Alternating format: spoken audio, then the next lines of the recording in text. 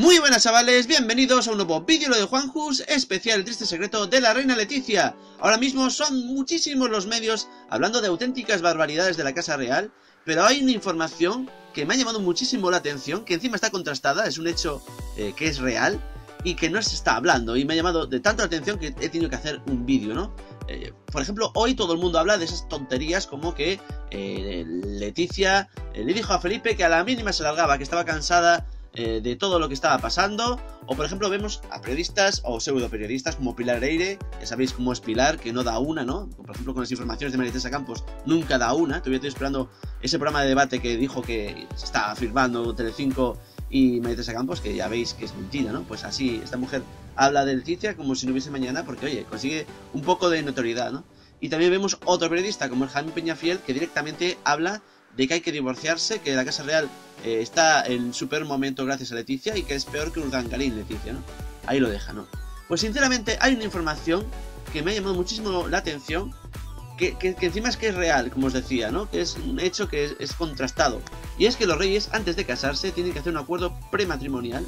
Ya sabéis que para la, realeza esto es como un trabajo, ¿no? hay que dejarlo todo muy bien atado.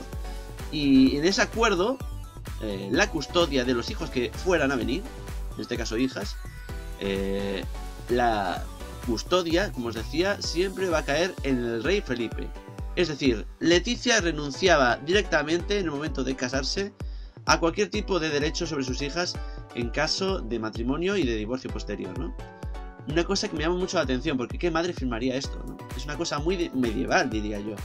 Pero mm, a la gente como le gusta un poco la polémica, pues oye, a inventarse noticias, a inventarse informaciones y a dar cosas por verdades, ¿no? Este canal es serio, aunque parezca mentira a veces eh, con las noticias que damos, y mentiras las justas. Y sinceramente lo de a la mínima me voy, no se lo cree ni el tato. Porque entonces, ¿por qué Leticia iba a abrir la puerta eh, del coche de, la reina Sofía, ¿no?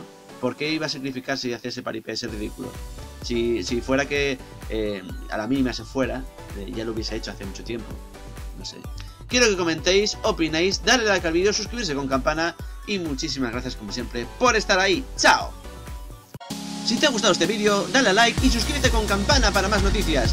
Y si quieres conocerme, visita también mis vídeos diarios. Tienes cadena Juanjo Blog para más información de la forma más amena. ¡Nos vemos!